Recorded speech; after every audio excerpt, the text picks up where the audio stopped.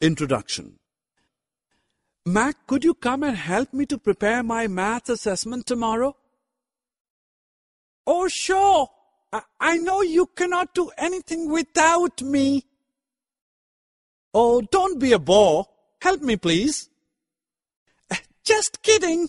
Uh, you know how to add and subtract numbers?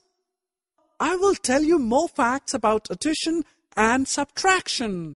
Objectives After completing this lesson, you will be able to understand addition facts and subtraction facts.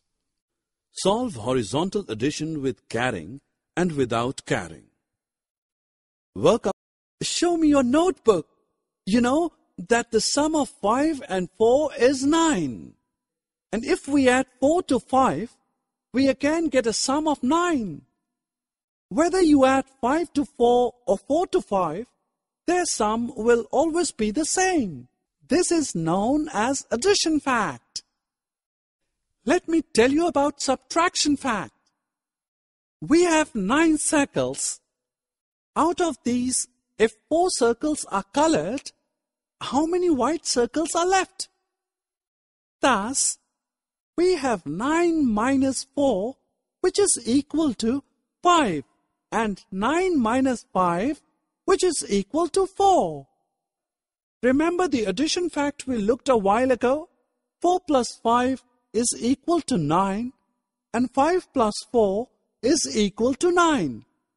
Well, for every addition fact, there is a corresponding subtraction fact too.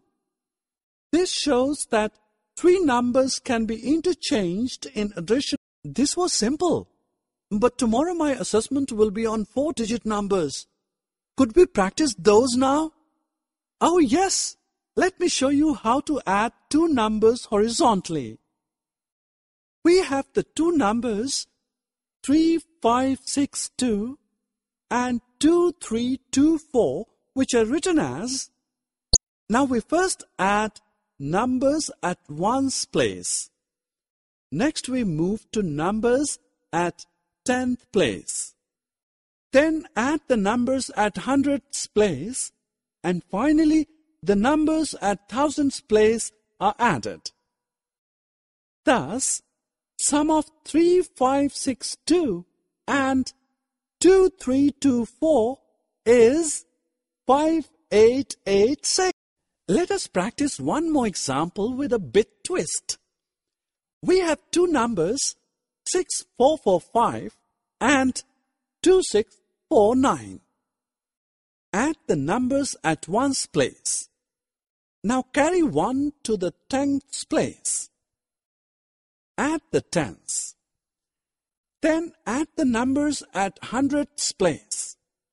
We have one number carried on to thousands place add thousands to make right final answer.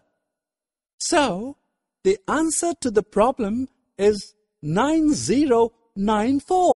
Let us now move on to subtraction. Wendy went a picnic last Saturday. The picnic spot had two boards with two different numbers written.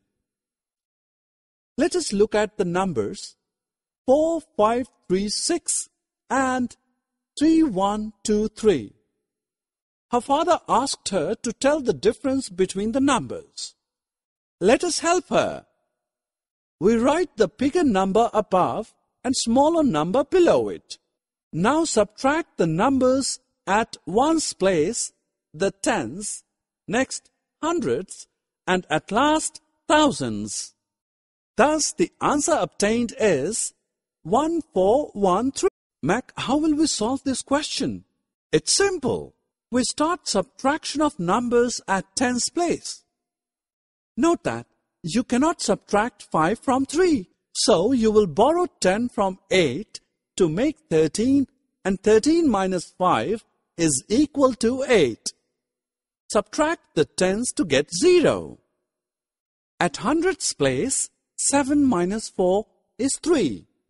Finally, subtract the thousands. Summary let us summarize what we have learned.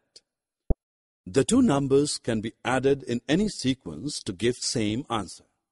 This is known as addition fact.